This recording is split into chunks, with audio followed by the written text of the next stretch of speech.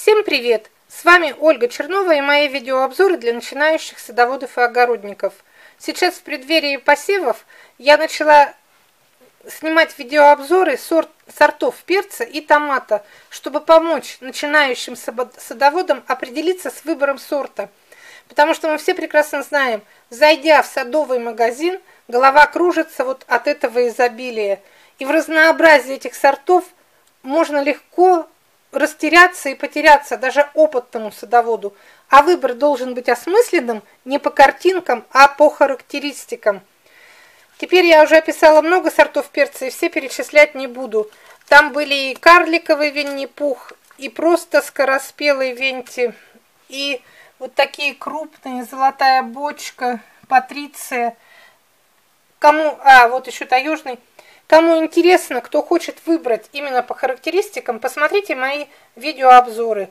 Но всего, сейчас я хочу поговорить именно вот о таких, о колобочках. Не могу пройти их стороной, потому что сама их выращиваю. Они мне нравятся и на внешний вид, и на вкус.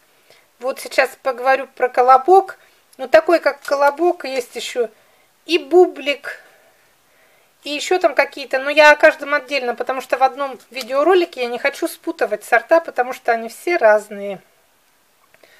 Вот колобок, раннеспелый, раннеспелый сорт малыш для загущенной посадки. Этот вариант подойдет тем, у кого очень мало места, некуда вообще совершенно перцы воткнуть. Вот такие вот перцы-малыши требуют очень мало места – и, ну, плоды у них тоже вкусные, толстостенные. Сейчас мы почитаем их характеристики. Раннеспелый всего 107 дней. Хочу отметить, что вот перед этим была сейчас золотая бочка. У нее было 120 дней. Так что он поспеет намного раньше вот этих огромных сортов. Для открытого и защищенного грунта растение компактное, высотой 30-40 см, плоды – томатного типа, ну то есть совсем круглые, как помидорки, гладкие, сочные, нежные, масса 80-90 грамм, толщина стенки 8-9 мм.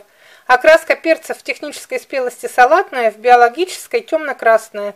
Устойчив ну, к заболеванию, ценность сорта, дружное плодоношение, отличная лёжкость, транспортабельность, высокие вкусовые качества, назначение универсальное. Что хочу отметить, вот во всех этих в колобках, бубликах – вы обратили внимание, что при таком маленьком весе плода, 80-90 грамм, у него стенка толщина 8-9 миллиметров. Если вдуматься, 9 миллиметров это почти сантиметр. Две клеточки тетрадные. Вот у такого малыша будет вот такая толстая, сочная стенка. Очень удобно для салатов, для любых переработок. Конечно, есть лучше его в свежем виде, насладиться вот этой сочностью. Сок из него даже брызжет. А какой красивый он на внешний вид. Его когда я вот собираю, у меня есть, выращиваю сорт колобок, наложишь в корзинку или в какую-то, в такую, в салатницу, в чашечку. Ну вот когда еще собираешь, помидорки и помидорки, кругляшки такие.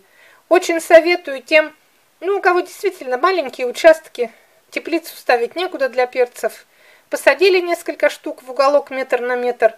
Вот такие будут перцы-малыши, колобок. До свидания. Следующий сорт перца будет в следующем видеоролике. Следите за моими видеообзорами, это очень интересно. Даже если вы не будете его высаживать, но вот эта информация, конечно, пригодится. Это и общий кругозор, и на будущее. Вдруг вы когда-нибудь решите посадить сорт малыш.